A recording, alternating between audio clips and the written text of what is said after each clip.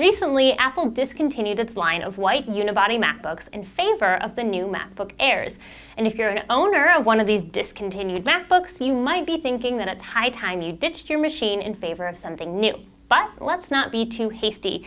These guys have something that the new MacBook Airs don't, and that's expandability. These MacBooks can be upgraded to 8 gigs of RAM and a whopping 1 terabyte internal drive, which is simply not the case for the new MacBook Airs. Hi, I'm MJ with iFixit, and today I'm going to show you how to really get your money's worth out of a white unibody MacBook by upgrading both its hard drive and its RAM. As usual, this video is a great overview of the process, but no self-repair person worth his or her salt would ever perform a repair without having a repair guide open in front of them.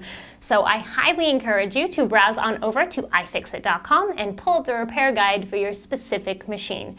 That all being said, I'm going to get my parts and tools together so I can get started. For this repair, I'll need a Phillips 00 screwdriver, a T6 Torx driver, and a plastic spudger. Now, rather than getting these screwdrivers separately, you might go for something like one of our bit driver kits. I'm using the 54 piece, but the 26 piece would do just as well. You're also going to need your replacement RAM and hard drive, depending on which one you're upgrading. To get started, we're going to flip the computer over and begin to remove the lower case by taking out all eight Phillips screws that are holding it in place.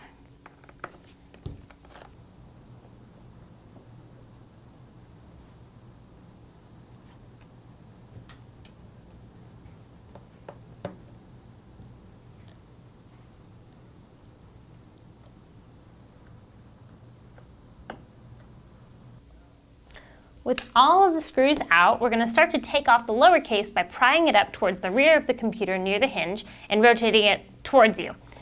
You kind of want to be gentle though. There we go. With the lower case off, we get our first glimpse of the inside of the MacBook. The first thing on our list to do is disconnect the battery, and that's held in place with a little cable here, and we're just gonna use the flat end of our spudger to kind of pry up one side and then the other, kind of rocking it up and out of place.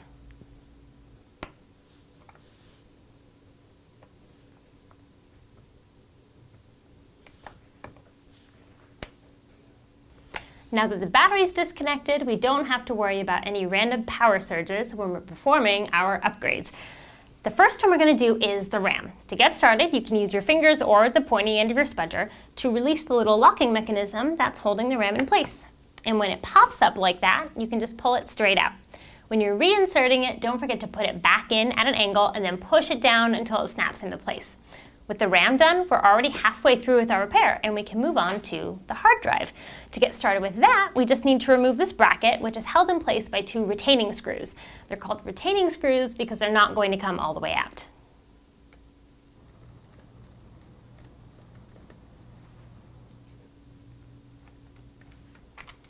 With the bracket out, the hard drive should just lift right out of the computer. But be careful because it's still attached to the logic board via this ribbon cable, so I'll just disconnect that.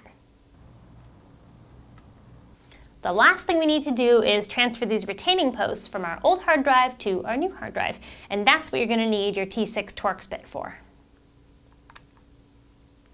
Of course, you can find all of the parts and tools for this and many other repairs at iFixit.com. And if you run into any problems setting up your new hard drive, we made a video that will walk you through the process and you can find a link for it right there.